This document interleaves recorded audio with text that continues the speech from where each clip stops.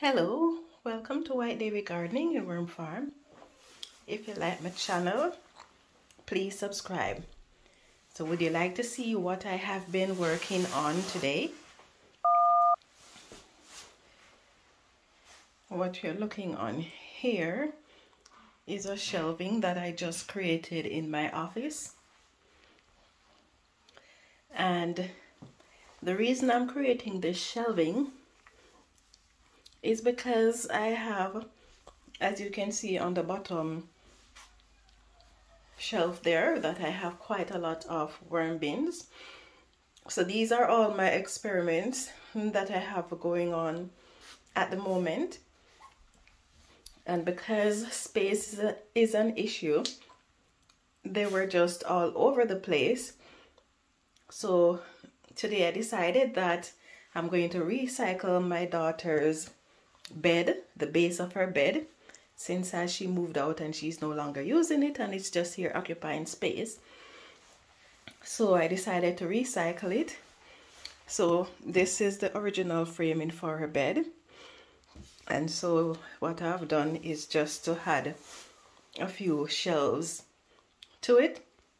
So hopefully by the time the winter is up, I will have all these shelves filled up with experiments. But that may or may not happen because, as you know, experiments only last for so long. But I do intend to do quite a lot of experiment during the course of the winter, so we'll see what goes on with that. This little painting made its way on my shelving as well. I just love this painting. So this was my daughter's bedroom before she left. And she just loved to paint all sorts of things. I don't know. So she painted that on the wall. And then this painting she did, and I just love it. I don't know what it is about it that I love so much, but I just love this painting. So I decided that, well, it has always been in here, but now I decided I'm going to put it on my shelf. Okay, so this is what I am working on for today. Hopefully my worms will be quite happy with this new location.